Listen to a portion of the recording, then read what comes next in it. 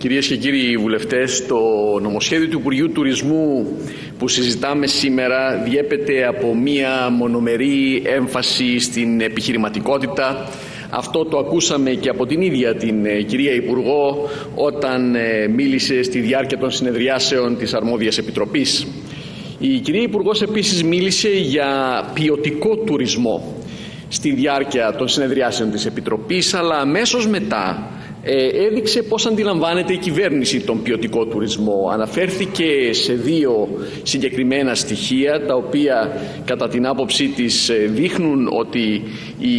ε, το μοντέλο τουριστικής ανάπτυξης που υιοθετεί η κυβέρνηση επιφέρει πρόοδο στον ποιοτικό τουρισμό αναφερόμενη στο γεγονός ότι η, τα έσοδα από τον τουρισμό ξεπέρασαν τα 20 δισεκατομμύρια ευρώ ενώ επίσης μίλησε για σημαντικά αυξημένη ε, ταξιδιωτική κίνηση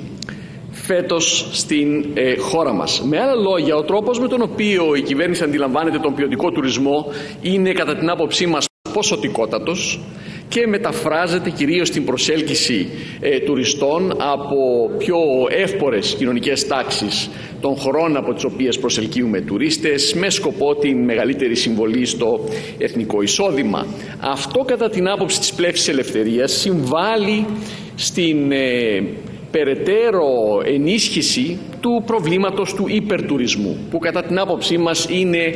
το μοντέλο που στην πραγματικότητα υιοθετεί και υποστηρίζει η κυβέρνηση, δηλαδή την ε, περαιτέρω ποσοτική διόγκωση του τουρισμού, χωρίς βεβαίως να λαμβάνονται υπόψη οι συνέπειες αυτής της ε, αναπτυξιακής, ε, αν την ονομάσουμε έτσι, προσέγγισης.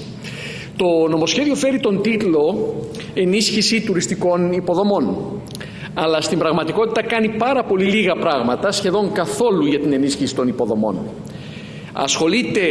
κυρίως με την ε, χαλάρωση αν θέλετε του ρυθμιστικού πλαισίου που υπάρχει για, κάποιες, για κάποια είδη τουριστικών υπηρεσιών με σκοπό να ενισχύσει την επιχειρηματικότητα αλλά στην πραγματικότητα προσφέρει ή ελάχιστα ή σχεδόν τίποτα όσον αφορά την έννοια της υποδομής σε σχέση με έναν κρίσιμο τομέα της ελληνικής οικονομίας. Δηλαδή δεν αναφέρεται σε επενδύσεις, δεν αναφέρεται στο εργασιακό περιβάλλον και δεν αναφέρεται ε, καθόλου φοβόμαστε αποτελεσματικά στο βαθμό που αναφέρεται στα ζητήματα περιβαλλοντικής βιωσιμότητας και περιβαλλοντικής προστασίας. Υπό την έννοια αυτή θεωρούμε ότι το νομοσχέδιο στην πραγματικότητα προσπαθεί να διευκολύνει την ε, περαιτέρω αύξηση εσόδων στο ακαθάριστο εθνικό προϊόν από τον τουρισμό χωρίς να ε, φροντίζει να τον κάνει έναν βιώσιμο κλάδο της οικονομίας ο οποίος ε, ταυτόχρονα να προσέχει τις συνθήκες των εργαζομένων και των τοπικών κοινωνιών στις οποίες αυτός αναπτύσσεται. Έρχομαι τώρα σε κάποια από τα βασικά σημεία του νομοσχεδίου ξεκινώντας από τα πρώτα άρθρα που αναφέρονται στις πολυτελείς κατασκηνώσεις. Αυτό είναι ένα είδος ε, τουρισμού το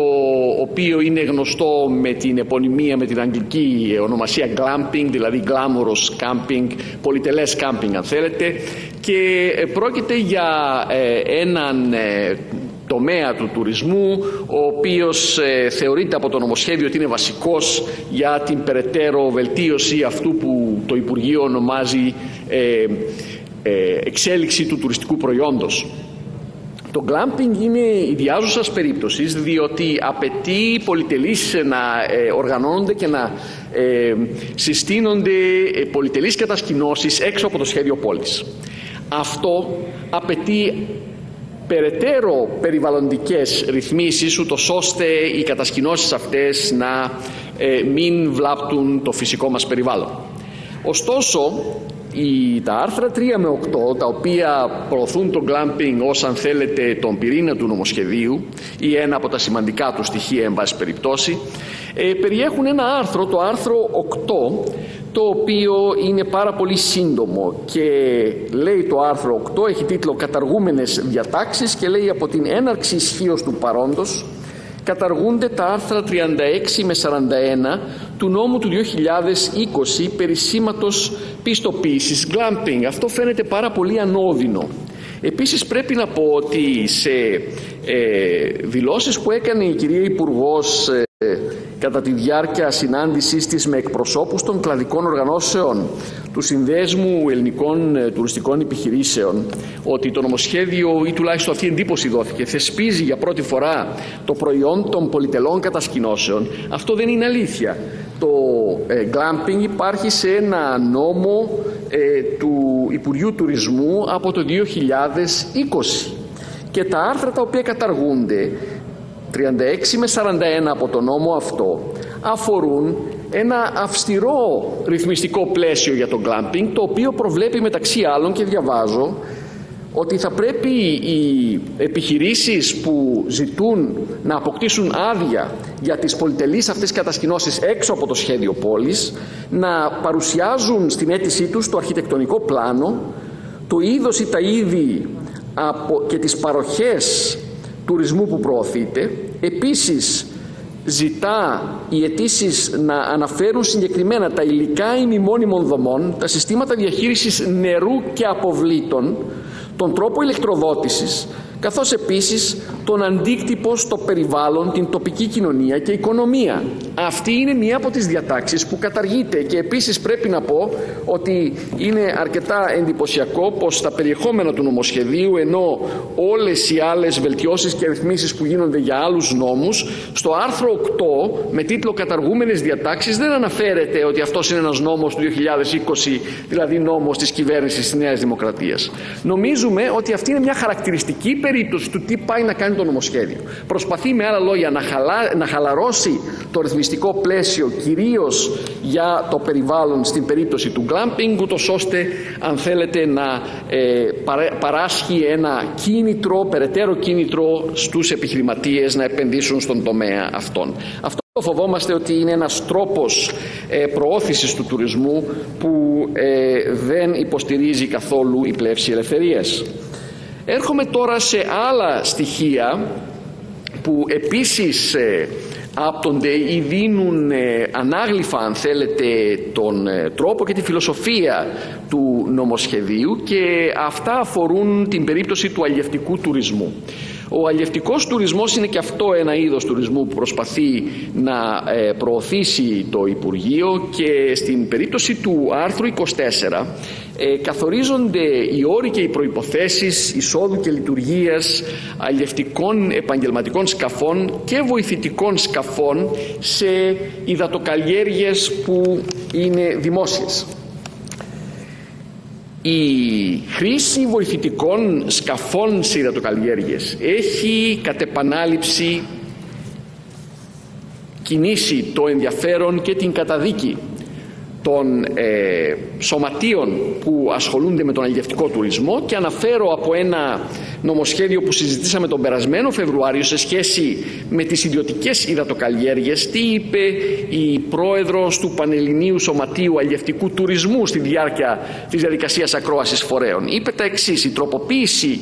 του άρθρου προκειμένου βοηθητικά σκάφη σε υδατοκαλλιέργειες να διενεργούν αλλιευτικό τουρισμό είναι το λιγότερο καταχρηστικό και προσβάλλει τα δικαιώματα των επαγγελματιών αλλιέων που διενεργούν αλλιευτικό τουρισμό. Γιατί; Και συνέχισε γιατί τα, αλλιευτικά μας, τα επαγγελματικά αλλιευτικά μας σκάφη διαθέτουν άδεια επαγγελματικής αλλίας καταχωρημένη σε υποδύναμη και χωρητικότητα. Από την Ευρωπαϊκή Ένωση τα βοηθητικά σκάφη δεν διαθέτουν. Με άλλα λόγια και εδώ πρόκειται για μια ρύθμιση η οποία χαλαρώνει το πλαίσιο για να αυξήσει τη δυνατότητα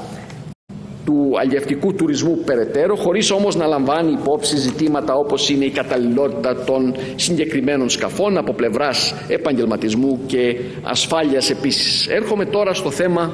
των τουριστικών σχολών. Κάτι που προσπαθεί να κάνει το νομοσχέδιο επίσης είναι να επιφέρει ε, αλλαγές στον τρόπο με τον οποίο λειτουργούν οι τουριστικές σχολές και μία από αυτές τις αλλαγές, το άρθρο 30 συγκεκριμένα, ε, δίνει την ε, δυνατότητα στο Υπουργείο Τουρισμού μαζί με το Υπουργείο Παιδείας να τοποθετεί, αυτή είναι η λέξη που χρησιμοποιεί, πολύ χωροταξική κατά τη γνώμη μας, να τοποθετεί διευθυντή ή υποδιευθυντή σε ανώτερες σχολές επαγγελματικής κατάρτισης τουρισμού. Αυτός ή αυτή ε, θα πρέπει να έχουν ε, καταρχήν ε, να είναι είτε εκπαιδευτικοί είτε διοικητικοί υπάλληλοι. Και εδώ υπάρχει ένα μεγάλο ζήτημα κατά πόσο ένας διοικητικός υπάλληλος και μάλιστα όπως λέει το νομοσχέδιο οποιοδήποτε κλάδου ειδικότητας είναι το κατάλληλο πρόσωπο για να διοικήσει μία τουριστική σχολή με τον τρόπο ε, με, με τον καλύτερο δυνατό τρόπο. Επίσης ε, η θητεία είναι διετής, αλλά σύμφωνα με το άρθρο 30 αυτή μπορεί να ανανεώνεται με κοινή απόφαση των Υπουργών Τουρισμού και Παιδείας επαόριστον. Οι διευθυντές αυτοί θα πρέπει να ε, έχουν ε, κάποιο συγκεκριμένο όριο και θα πρέπει αν πραγματικά ενδιαφέρεται το Υπουργείο να αναβαθμίσει το επίπεδο των τουριστικών σχολών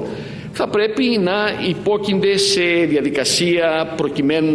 να ανανεωθούν οι θητείες τους ή ακόμη καλύτερα σε διαδικασία διαγωνισμού στην οποία να συμμετέχει και το εκπαιδευτικό προσωπικό των τουριστικών σχολών που θα πρέπει να έχει λόγο για το ποιος θα τους διοικεί.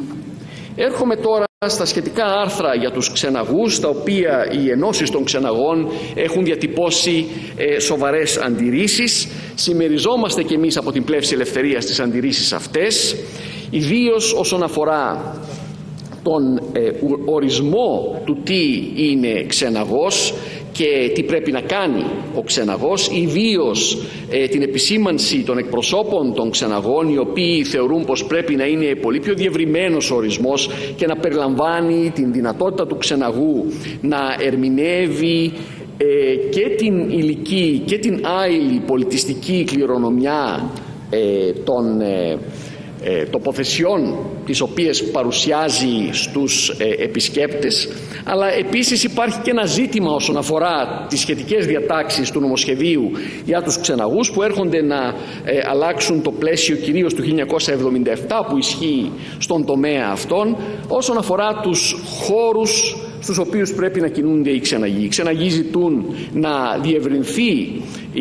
ο χώρος στον οποίο κινούνται πέρα από τα μουσεία, τους οργανωμένους ε, τουριστικούς, ε, συγγνώμη, ιστορικούς και αρχαιολογικούς τόπους και τα αξιοθέατα, ούτως ώστε να περιλαμβάνει και συμφωνούμε και εμείς στην πλεύση ελευθερίας με αυτό, τους φυσικούς και πολιτιστικούς τόπους με μια ευρύτερη έννοια.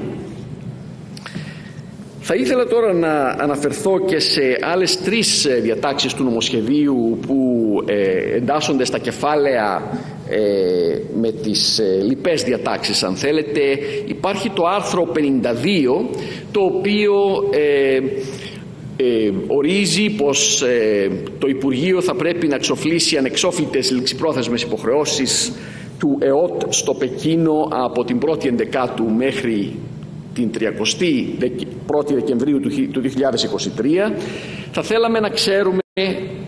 τι περιλαμβάνουν αυτές οι ανεξόφλητες ληξιπρόθεσμες υποχρεώσεις. Το ποσό που δίνει η έκθεση του λογιστηρίου του κράτους είναι 70.000 ευρώ για αυτά. Δεν υπάρχει επαρκής διαφάνεια στην αιτιολογική έκθεση για ε, τις ε, ανεξόφλητες αυτές υποχρεώσεις όπως επίσης θεωρούμε ότι και στο άρθρο 55 τίθεται ένα ζήτημα διαφάνειας και η αιτιολογική έκθεση δυστυχώς δεν παρέχει τις απαιτούμενες πληροφορίες τους ώστε να ξέρουμε ε, συγκεκριμένα ε, τι αφορά. Πρόκειται το άρθρο 55 για την διαγραφή οφειλόμενων εισφορών για ξενοδοχεία και ξενοδοχειακά καταλήματα οι οποίες εισφορές αυτές προέκυψαν μέχρι και την 31η Δεκεμβρίου του 2003 μαζί με τους τόκους τους να διαγραφούν και πάσης φύσεως και, την, και τις πάσης ε, ε, φύσεως πρόσθετες ε, ε, προσαυξήσεις και τα τέλη και τα οποία θεωρούνται από το νομοσχέδιο ανεπίδεκτα ίσπραξης προβλέπει το άρθρο τη σύσταση μιας επιτροπής αλλά αυτή η επιτροπή δεν είναι εξουσιοδοτημένη ε, έτσι ώστε να μπορεί να ελέγξει κατά πόσο εδώ ενδεχομένως υπάρχουν περιπτώσεις απάτης όπου χρεοκόπησαν ή έκλεισαν κάποιες ε, επιχειρήσεις ξενοδοχειακές και ε, μετά άνοιξαν με διαφορετική ονομασία και συνεπώς αυτές οι ξενοδοχειακές επιχειρήσεις δεν μπορούν να κριθούν είτε ε, ότι είναι σε αδυναμία να ξοφλήσουν αυτές τις οφειλόμενες εισφορές ή να κριθεί ότι δεν υπάρχουν πια σε περίπτωση που έχουμε τους ίδιους επιχειρηματίες για παράδειγμα που ξανασύστησαν μια ξενοδοχειακή επιχείρηση κάτω από διαφορετικό όνομα. Ε, τέλος θέλω να πω ότι υπάρχει και μια ε, άλλη διάταξη, το άρθρο 64 συγκεκριμένα, που αναφέρεται σε δαπάνες της τάξης των 73.000 ευρώ ε, για το 2021 με 2023 ε, ούτως ώστε λέει να τηρηθεί η προβλεπόμενη διαδικασία και αυτές οι δαπάνες περιλαμβάνουν και ρωτήσαμε στη διάρκεια της, ε, των συνεδριάσεων της Επιτροπής την εξόφληση μη μισθολογικών παροχών και σε δημοσιογράφους. Θα θέλαμε και ρωτήσαμε, αλλά δυστυχώς δεν πήραμε απάντηση τι, σε τι ε, υπηρεσίες δημοσιογράφων αφορούν αυτά τα ποσά. Κλείνοντας, ε, κύριε Πρόεδρε, θα ήθελα να πω ότι στη διάρκεια της ακρόασης φορέων είχαμε την δυνατότητα να ακούσουμε και τους εκπροσώπους των εργαζομένων του κλάδου και αυτοί διαμαρτυρήθηκαν και εγγράφως αλλά και προφορικά για το γεγονός ότι ο κλάδος πάσχει από μια σειρά δομικών προβλημάτων τα οποία το νομοσχέδιο δεν αντιμετωπίζει. Έχει σχεδόν, μας είπαν, 80.000 κενές θέσεις εργασίας. Μας είπαν επίσης ότι ε, τους χειμερινούς μήνες η, ο κλάδος των εργαζομένων στον τουρισμό είναι καταδικασμένος σε ανέχεια μιας και το Ταμείο Ανεργίας έχει μείνει παγωμένο για τρεις μήνες με μνημονιακή διάταξη και επίσης ανέφεραν το γεγονός ότι οι μισθοί και τα ημερομίσθια σε σχέση με τα έσοδα από τις υπηρεσίες που παρέχουν οι εργαζόμενοι στον τουρισμό είναι πάρα πολύ χαμηλά. Η Πλεύση Ελευθερίας συμμερίζεται και αυτές τις ανησυχίες των εργαζομένων στον κλάδο του τουρισμού και θεωρούμε ότι το νομοσχέδιο έπρεπε να, περιλά... να περιείχε διατάξεις οι οποίες αντιμετωπίζουν αυτά τα κρίσιμα ζητήματα. Ευχαριστώ κύριε Πρόεδρε. Ευχαριστούμε.